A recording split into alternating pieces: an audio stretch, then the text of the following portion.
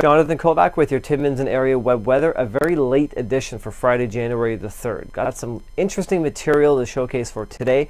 It was your Friday 925 workday, good way to wrap up the work week with the presence of a cold front, which is moving along northeast Ontario in our viewing area at a very quick rate. It's attached to that low pressure system that came out of Winnipeg, Manitoba some two days ago.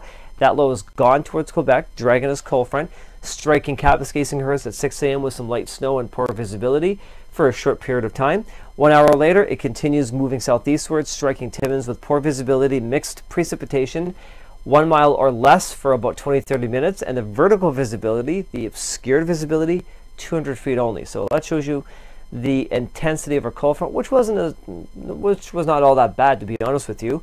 Two cold fronts behind that low pressure system. The first one across southern Ontario. The second one is outside of our region, crossing through the Sault Sudbury North Bay region. Barometer on the rise, 2950 this morning or 100 kilopascals. That's a plus sign. Winds out of the west northwest this morning for a few hours, uh, 30 gusts about 40 45 kilometers an hour. The cloud cover remains in the picture, but we break up the cloud cover by this evening because we welcome a ridge of high pressure sitting right over Lake Superior, which is trying to break up the cloud cover that's left behind with this trough of low pressure. That's the elongated area of low pressure from what's now gone towards Quebec. The barometric pressure, big time improvement, 2990 or 101.1 kilopascals, and a light northwest wind at about 5 to 10 kilometers an hour. That's thanks to this clockwise moving high pressure system, which will pass through our region quite rapidly because Environment Canada says partly cloudy to mostly cloudy for Saturday.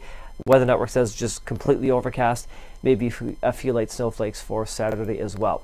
Two Pick 3 maps. This is the morning map to show you what's going on. The Weather Network said that Cochrane, and Iroquois Falls are at plus one with rain zero degrees with freezing rain for Smooth Rock Falls, 717, snow and ice pelts for Timmins with the freezing mark, and the cold front dropped the temperature down to minus 5 with partly cloudy conditions at Hearst. And the pick 3 for this evening, well, this is what it looks like.